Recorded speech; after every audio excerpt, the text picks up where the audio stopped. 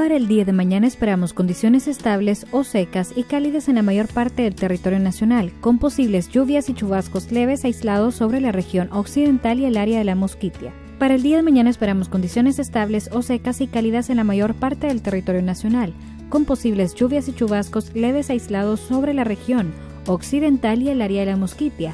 Esto es debido al desplazamiento de una vaguada débil sobre la región suroccidental y la Mosquitia.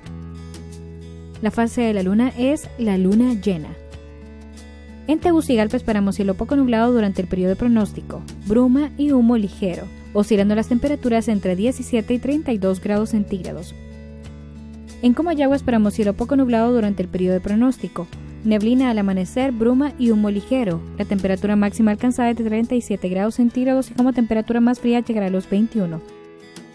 En San Pedro Sula esperamos cielo poco nublado a despejado durante el periodo de pronóstico, bruma y humo ligero, oscilando entre 24 y 38 grados centígrados las temperaturas.